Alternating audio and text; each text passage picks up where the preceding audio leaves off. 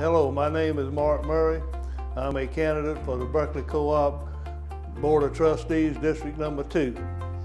I uh, am, was born and raised in Cross, South Carolina, and I graduated from Cross High School.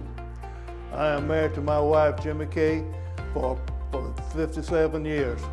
We have a son and a daughter, and two great-grandchildren and two grandchildren.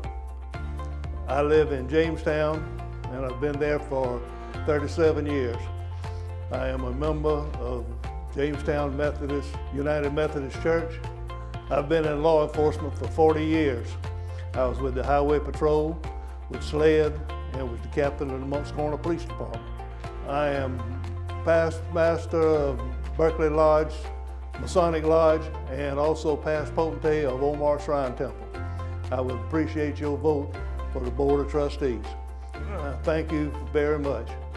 Have a good day.